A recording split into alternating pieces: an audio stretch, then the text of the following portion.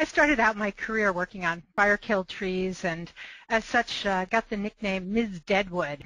But uh, since I'm still here talking about it about 25 years later, I, I guess it wasn't all that bad. Uh, today I'm going to run through a few of the things that can happen after a tree um, or after a fire, and but also after insect attack. And uh, Ralph made mention of somebody uh, that's going to be talking about bugs and fire a little bit later on. So there might be a little bit of overlap, but hopefully not too much. Because in many instances, um, essentially the fire and the insect attacks can be closely related. And I'm also going to be taking you all the way through from what happens after the smoke clears um, to the utilization of dead and dying trees. So basically what it might mean to forest products manufacturers. Okay. So why is it that we need to consider time following a fire or an insect attack? And a lot of it is based on your management objectives. You may have more time or you may have less time.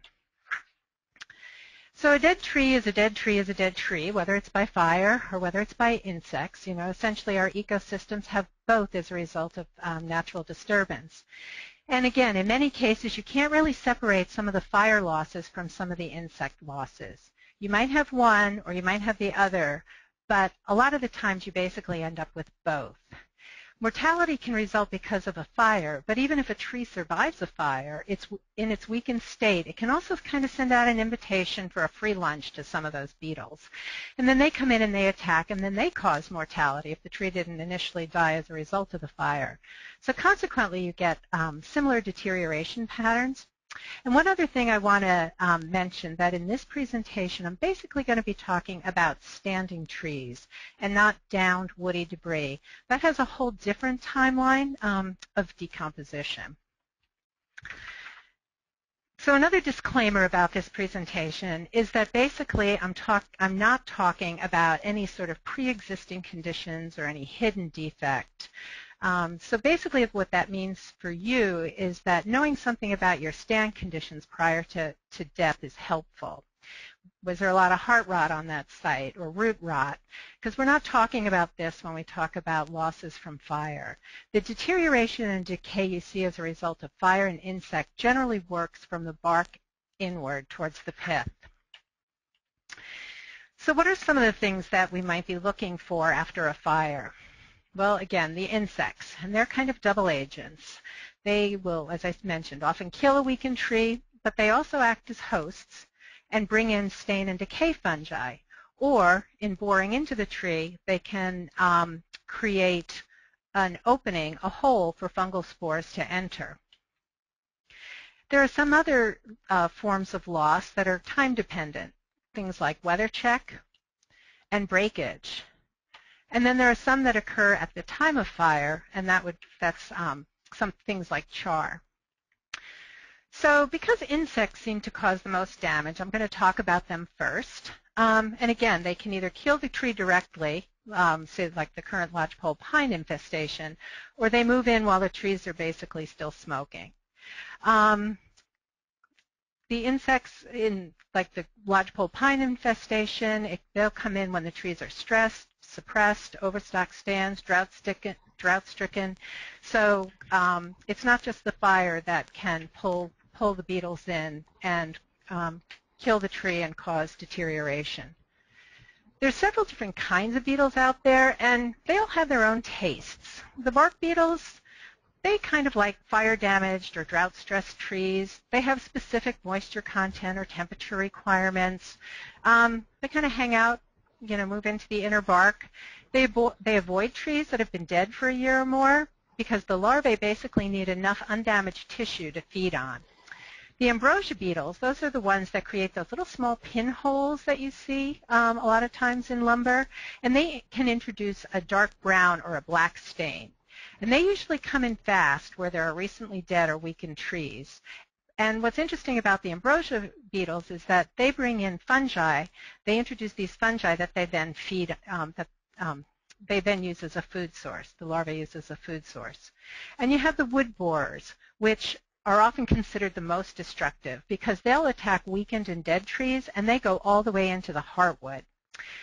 So these insects um, precede the fungal activity in in most cases and in fact introduce it. So as I mentioned before, the beetles can be a little bit fussy about not only what they attack, but when they attack. So if there's a fire late in the season, sometimes it doesn't attract as many beetles. And it used to be that the ambrosia beetles wouldn't show up until the spring after a fire, but now I'm not so sure this is the case. Um, thick bark can be a deterrent, but it may also work to the advantage of some beetles by keeping the wood moist. Remember that they needed a little bit of fresh material, so if the wood's all dried out, then they're probably, or, or dead, they're not, those types of beetles might not enter. And then the location on the bole. Um, differences in bark thickness can result in differences in moisture content. So that would influence where in the boles, bole the beetles might attack. And then the amount and type of food that's available to them will um, determine um, who comes to visit. So just like different kinds of beetles, there's also different types of fungi. And the ones that are typically associated with fire kill um, are saprot fungi and stain fungi. The bad news about the saprot is that it negatively impacts mechanical properties of wood. And, but the good news is it's usually in the sap, which when you're making rectangular lumber out of round logs, that can get sawn off. Um, and so not really have much impact. Stain, on the other hand, while it's not desirable by many consumers, doesn't really affect the mechanical property, the mechanical properties, only the appearance. So if you're making structural grade lumber, like 2x4s or whatever, you're okay. But if you're producing appearance grade lumber, like shops and moldings, things where you want clear wood with no stain, you lose out really big time on that one. Um, but if the conditions are right for stain, they're generally also right for other types of fungi. So just like us, the fungi require certain things to thrive. And so along with their food sources, they obviously um, need some other things like moisture and oxygen. But, you know, if it's too wet, if it's too dry, if it's too hot, if it's too cold, there's always something to complain about. So from a product's perspective, that's why kiln drying is so important, especially of some of this fire kill material, because once you decrease the moisture to a certain level, the, um, the fungi die. But if you give them the right conditions, you know, they'll just take off. So if you have some really warm weather, maybe 75 to 85 degrees, and you've got a little bit of moisture left in your sapwood, you better watch out because from the pith to the bark, you know, they might go, you know, as much as half an inch to two-thirds of an inch um, a week, and then up and down the, the bole, they can go about almost two inches a week. They can move up and the stain will spread. So um, if you've ever seen the sprinklers in the log yards, while it does provide fire protection and dust abatement, um, it also it's also on to help prevent uh, staining of the some of the valuable logs. So yet another form of deterioration after the fire is gone is um, checking and cracking that occurs as the trees dry out. And from a manufacturing standpoint, weather check influences kind of the product volume that can be produced. It'll influence how they can, can saw up a log or, you know, if you're peeling veneer, you're obviously not going to be able to get a full sheet. But you have to also keep in mind that the less volume you have to sell, the less money you're going to make. So it's kind of almost a, a double whammy. It's not always all about the quality. Uh, the chip market, it's not um, as impacted by this, although when the trees are really dried out, it often makes it hard to chip. Uh, sometimes they end up with more fines, so it can be troublesome to have have really dry material that sometimes forces them to kind of um, re-wet the logs, resaturate the logs. So there's several factors that determine why a tree um, might develop cracks. Again, the, it, the size, where it is, the, the, the butt log or the top log, how thick the bark is, how hot the fire was, but also from a heat perspective, what's the temperature on your site, and then as well as um, some of the environmental conditions. And then there are some other loss factors like breakage. Um, this tree faller is kind of wondering why this tree chose to break and why it chose to break on his truck. Um, basically breakage occurs because of some sap rot, soil erosion, or maybe combined with some of the pre-existing conditions. Uh, breakage can occur in logging when you're felling a tree um, or skidding it to the yard. Uh, can also be um, happen in handling in the mill yard, uh, on the debarker, so it can happen anywhere um, along the way. Just want to add that this was one of the studies that um, I worked on, and unfortunately this poor guy didn't make it home for dinner that night. Uh, people always seem to mention char, obviously, because if they go into a fire kill stand, they usually end up with um, black all over their hands or their clothes. But, you know, generally char doesn't appear too far into the tree. Um, if you have a really thin-barked species, um, or maybe young trees with thin bark, you're going to get some charred wood. Um, sometimes, again, on these smaller trees, these small branch studs might burn into the bole, but and you get, um, you know, on these smaller trees too, you'll get a little bit of charring on the, the external part of the bole, the outside, but for the most part, char isn't that big of an issue. However, if you want to make clean chips, a pulp chip out of it, um, char could definitely be a deal breaker if they see um, any of it in their coming into their yard. So after the fire's gone, how do you know a tree is dead? Um, you know, is the maybe you're looking up and there's still some green. Um, is the tree going to recover, do you think? Is it going to die? Are there some clues that might help guide you as to whether it's going to going to make it or not? So there's some research that's been, quite a bit of research actually, that's been done. Um, and so to aid in planning efforts, uh, there's various publications out there. Here's just an example of one of them um, on ponderosa pine and Doug fir. Um, and some of the things that they were they um, found were that some of the primary variables to help you predict uh, whether your tree is going to make it or not are the crown scorch volume and the crown consumption volume. And then some of the other things to think about are, again, the size of the trees, whether or not beetles have um, shown up, the ground fire severity, because that will impact the roots, um, which, you know, we do, the below ground portion is not something we, we see, so we don't really have any way to judge um, except by the severity of the fire, what might have happened to the root system. And then um, the bole, bole scorch height. There's data, uh, there's research and publications on other species as well. There's a lot of data out there um, that you can, can access to help you predict mortality. You can already see that there's a lot of related things that's going to influence what's going to happen in a tree, and one formula doesn't fit all. Uh, I, I, mean, I always feel pretty bad having to start my answer with when somebody asks me, um, you know, what's happening with this tree? Well, you know, it kind of depends on a lot of things. So what are some of the things? Well, many are related to um, the tree itself. So if we're looking at species and we have a ponderosa pine tree, well, they tend to have a lot of sapwood and pretty thick bark. And for the most part, um, oops.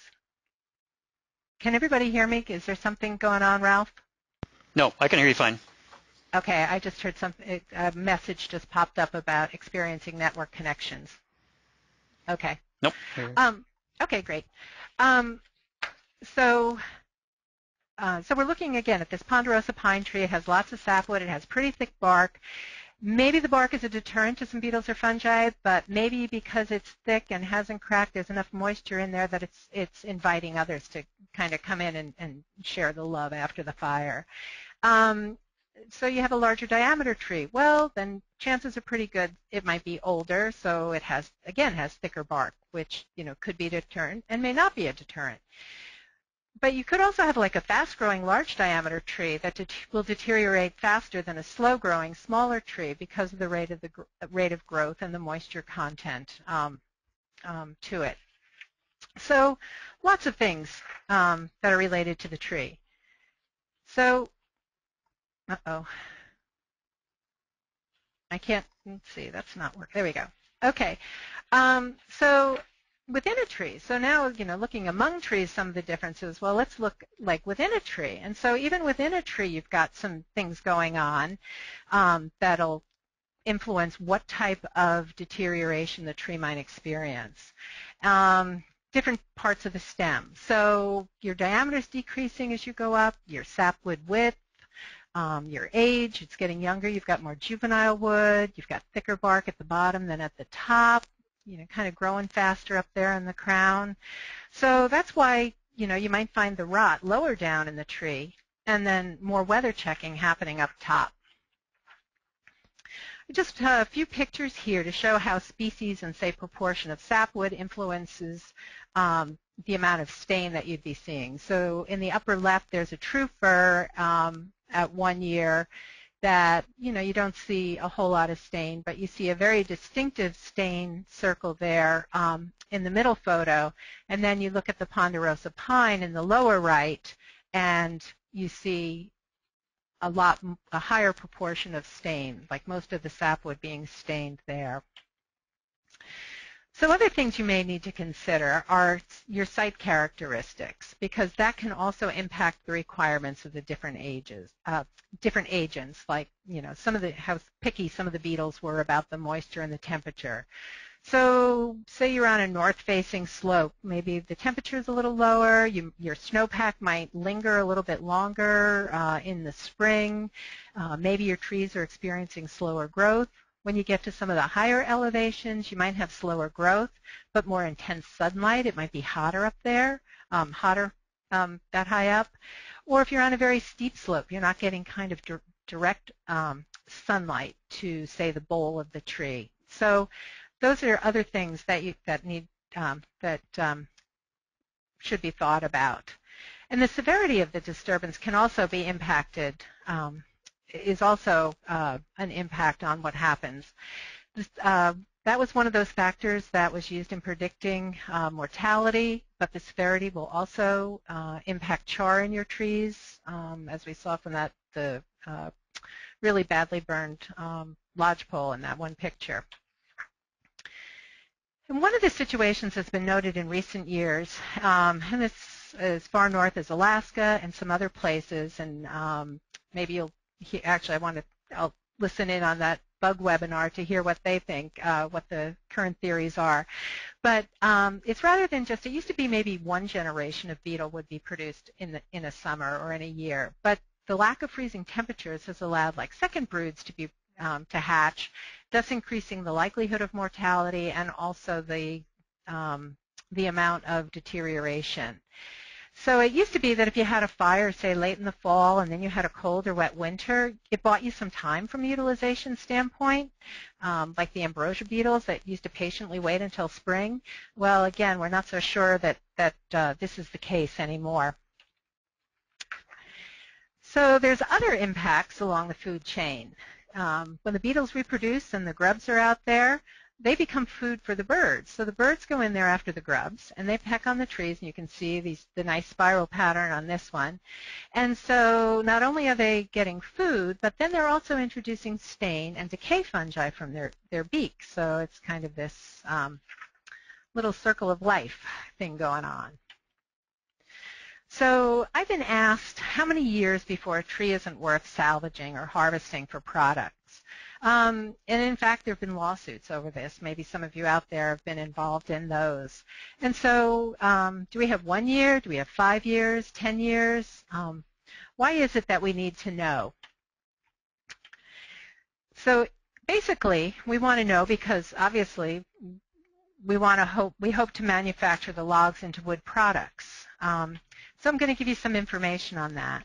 So when you're considering salvage logging, there's two things you need to think about. Is you have to you have to calculate kind of how much volume you think you're going to be losing, but the second thing is you also have to know how much value you're going to be be losing.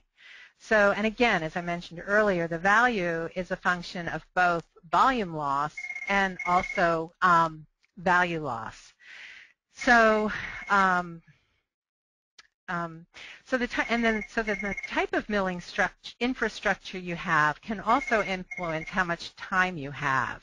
Again, are you manufacturing structural lumber, two by fours, or uh, where stain doesn't really matter, um, but strength and stiffness do, or are you manufacturing appearance grade lumber, where like shops and moldings, where you want clear lumber um, with no stain um, and no wormholes. So it seems like a lot of the big fires in the late 80s caught people's attention, and you know, or maybe that's just because it was one of the first projects I was assigned to, and I came to work at PNW. Anyway, um, PNW Station has done a number of studies on fire and insect-killed timber dating back to the 50s and 60s. But it seemed like in the late 80s there was kind of a renewed interest at a larger scale, and um, one of these uh, first ones was following the fires um, in 1987, where we ended up looking at volume loss. So some of you may remember the Silver Fire Complex. Um, again, people started thinking that maybe it was time to update research data on deterioration losses that had been done back in the 50s by Kimmey and Furniss. So we were able to go to eight different sites three years in a row um, in southern Oregon and, and northern California.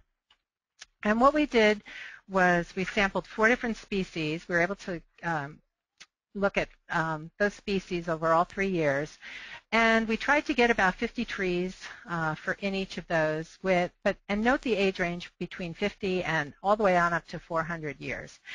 And then the DBH, the lowest was 10 inches, but again, it went up to, to um, almost 60 inches, which you know, these days you're probably, and especially on the east side, you're probably dealing with younger and um, smaller trees. But we did try to get some small diameter trees in this study. Uh, this was strictly a um, volume. Uh, we didn't do a product recovery uh, study where we didn't take these logs all the way to the mill. We just looked at the basic effects of fire on the trees and the scaling volume loss. So there was no value loss assigned to this. And basically we felled the trees in the woods and we had Forest Service and BLM scalers provide volume deductions for essentially sap rot and weather check. And some of the results there, you can see um, that we didn't, uh, don't even show year one because there really wasn't much measurable loss that first year.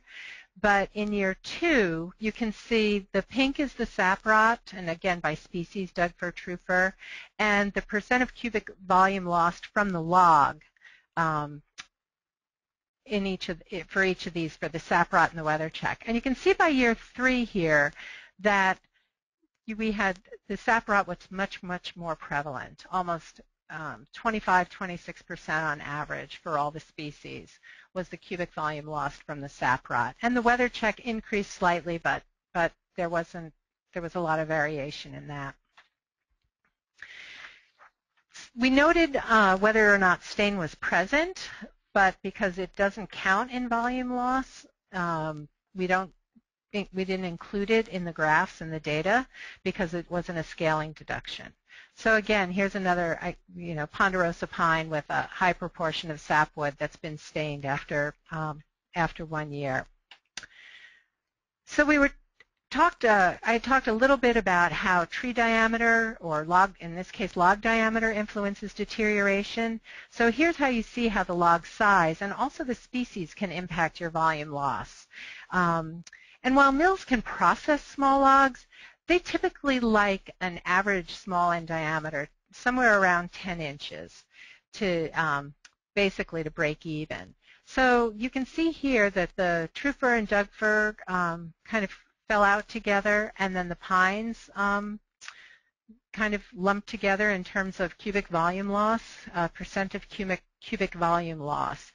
And you had a lot of loss, a very steep loss, you know, up until probably around 15 inches, and then it starts leveling out a little bit. Another way we looked at the data had to do with how many logs that you might expect to see a few years out. And uh, that was a little telling so that you could actually just pull that volume right out if you're planning a salvage sale or something. And so there uh, based on um, species and based on log small end diameter, you could determine what proportion of your the logs from that stand might um, turn out to be to be cull. And you can see the sugar pine um, after uh, by year three really um, you had lost a, a good proportion of your of your material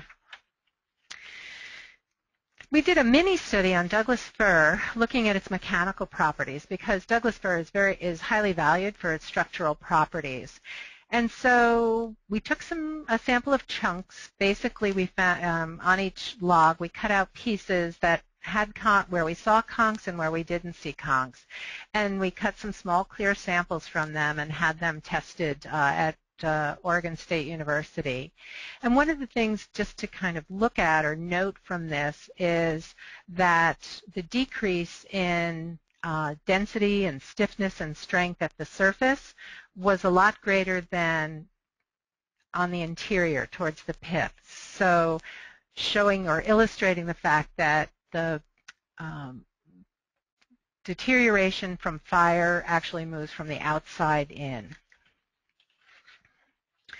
Another study that was done by the Forest Service looked at um, wood changes, again, strictly volume loss um, in um, eastern Washington, and this is uh, Hadfield and, and Magelssen. And again, they noted that there was lots of variation both between and within a species. So kind of all the things that um, I mentioned earlier um, that you need to be thinking about. They also had a, a wider range of species that were representative of the area. So there's a list of the species that they looked at. And here's an example of the type of thing that they reported, what happened. Um, basically, they were giving, uh, providing a picture of the progression of deterioration in trees so that you can see that there was still little stain in the Doug fir after two years. By year three, all the sapwood um, year four, that was when they started noting some top breakage. Um, one thing in their publication, though, they didn't use standard scaling methods when they were calculating their losses. And again, they didn't do any product recovery studies to see the influence on product. So now let's add products into the mix of things and take a look at the relationship of volume um, and value loss. Again, a quick review. Volume loss is a function of the extent of deterioration. Value loss adds in the function of what products are you going to be making. Different products um, require different species, different sizes, um, each have a different market value. So down here, um, where we're looking at a slash pile that probably isn't worth a whole lot, as we get to some uh, larger trees as the size increases and we get better quality logs, um, you, they become higher values. So your slash you can be used for energy production like heat and energy, um, hog fuel type thing, whereas when you get to some larger logs, you might be able to saw them into structural products or, uh, or appearance products, or you might be able to peel it to veneer, into veneer. Um, I put chemicals in green here. That's an emerging, there's some emerging technology going on there where uh, you might be able to use some of the slash for higher value, uh, higher value chemicals. So on that y-axis, we had increasing resource um, quality.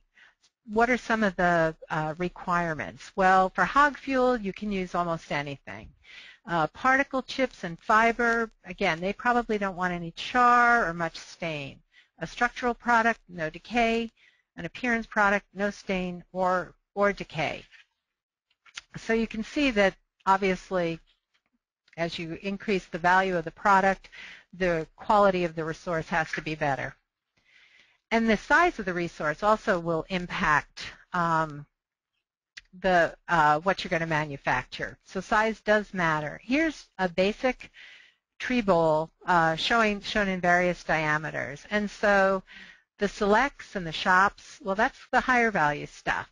And where does that come from? Well, it comes from the outer portion of the trees, and it comes from the outer portion of the bigger trees because you you might not get any selects from a mid-sized tree, and from a small tree, you're not going to get um, basically any. So it's mostly here in the larger trees, in the butt log, um, that's going to be the value part of your tree. But alas, that's also where the blue stain and the sap rot tend to occur. So just so uh, you now see where um, how the size can Im influence your your recovery. So about the same time as the silver complex fire, Um, a summer fire occurred in the Hells Canyon National Recreation Area back in 1988. Because the, the ponderosa pine is so valuable, the landowners and the local mill were interested in how to value the timber and how much volume and how much volume, volume and value were lost after only one year. So just like the Silver Complex fire, what they found is very little volume loss was noted in the one-year dead material. But there was a different story for value, as you can see here.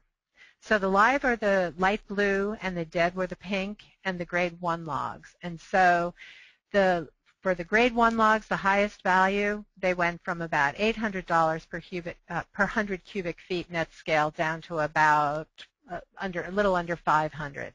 And so you can see that was the story until basically you got to the cull logs where it didn't really matter if it was live or dead.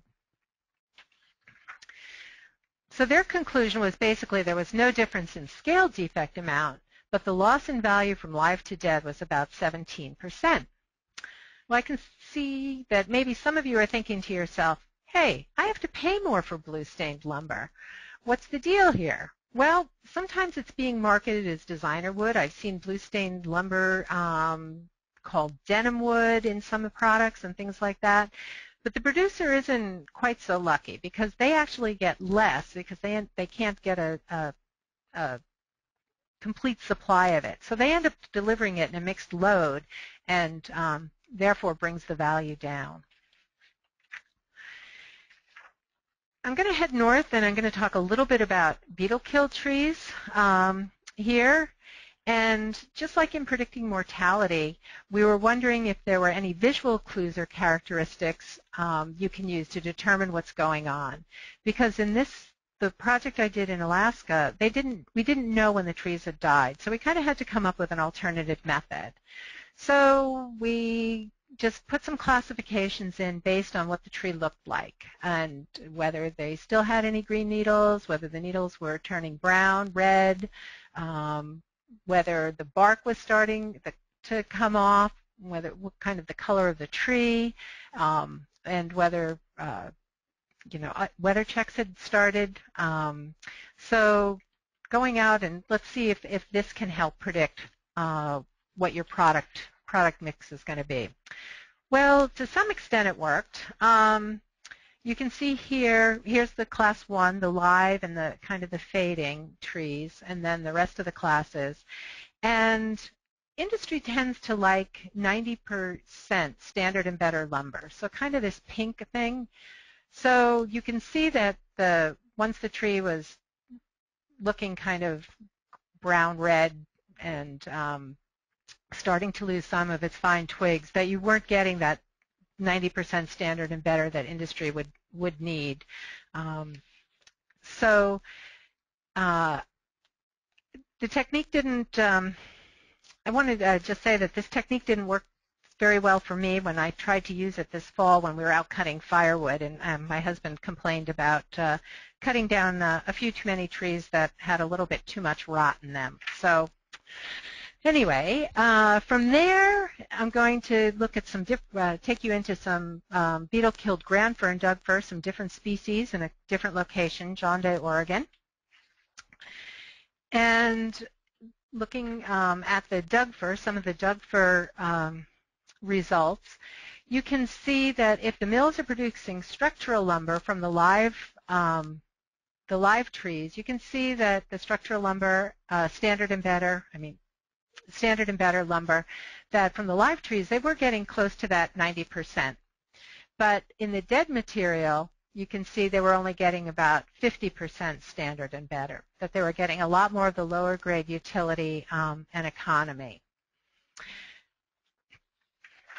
And then, of course, there's also, you can see a little bit of a diameter effect here in terms of um, if the high, high uh, grade lumber, the select structural, you can see as you get into the larger logs that you're getting more of the select structural, both in the live and the dead material.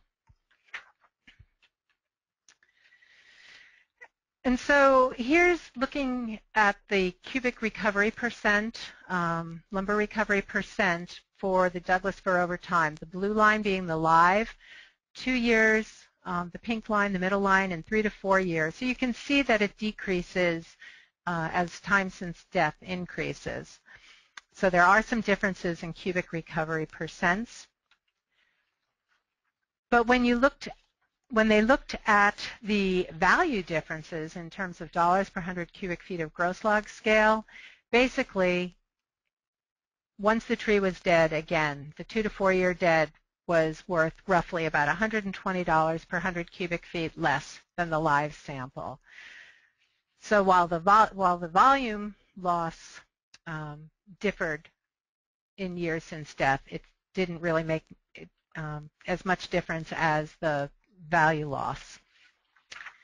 So wormholes are another fact of life in dead trees. And while lumber and wormholes may look really good in a rustic cabin, uh, I would think that most consumers, like myself, would probably avoid selecting a piece of holy lumber if I had an alternative.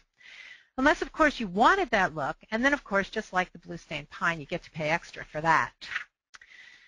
So P, our, uh, PNW was contacted by the um, National um, Forest Service measurement specialists and Collins Pine after the Warner fire um, in southern Oregon down in Lakeview. And they were concerned about what was happening so soon after the fire. Um, the fire was out. Three months later, uh, I went on a tour down there, and basically we were seeing blue stain and flathead borers um, already had moved in. They were able to salvage some of the trees within a year. Um, seemed it seemed pretty optimistic to me when they were proposing it, but um, luckily it all went through, and so we were able to do a study with them. And what I saw really surprised me uh, in comparison to what I had seen a decade earlier on the Silver Complex fire. Uh, so the National Measurement Committee was decided, like, do we really, do we need some additional log rules now for, for all these wormholes because of all the damage they're causing? Our log sample, uh, it was pretty hard to find a green sample um, because it was a salvage sale, but we were, get, we were able to find a few and also get um, some of the smaller trees uh, that you find on, on those sites. But after one year, you can see when you open up a log how far into the log the stain, um, you know, the stain had penetrated. And then as you look at the lumber, you can see the worm, how the wormholes were showing up, and um, the amount of and the amount of stain sometimes throughout the whole the whole piece of, of lumber. So why does this matter? Well, let's check out the differences in prices between stained um, stained material. So if you have molding and better, that's $1,600 per um, thousand board feet. If you have stained material, you only have 300. Even the difference between shop material and stained is pretty great. So this is what you're looking at. $850 per thousand versus 300 and about $325 per thousand. So the short story is that the presence of the beetles and the, the uh, stain that uh, went along with them, you know, was basically an indication of a lot of stained wood. So you can see from the control sample, which is the dark blue, that there was a little over 10% of the molding and better and quite a bit of, of shop lumber. Whereas the logs that had the worms in them, uh, they showed up here in the stain or they put them into the structural lumber where stain didn't matter, and the wormholes don't matter either. So even with those price differences, then you can kind of look at the volume, and you really see that there isn't um, you see that there isn't much volume loss as a result of the worms and the uh, stain being present. But when you look at the value difference, you can see, especially when you get into the, the larger um, diameter logs, you can see just how much value is lost um, per thousand board feet of green lumber tally. So I'm getting ready to wrap up here, and most of what I've talked about today you can find um, in this publication. Um, and so in it's an update of a previous kind of synthesis that we did. But we tried to provide some guidance on whether it's worth um, pursuing any active management in fire and insect kill, uh, killed stands and using some of the visual clues, uh, kind of a photo guideline. And then there's also a sheet, a worksheet for assessing post-disturbance changes and what that means for management. And then there's some reference photos that you can use um, as well. But just a reminder, um, there's a lot of factors that's going to help determine what happens to your tree after the fire is gone, and so, and uh, one size doesn't fit all. So thank you.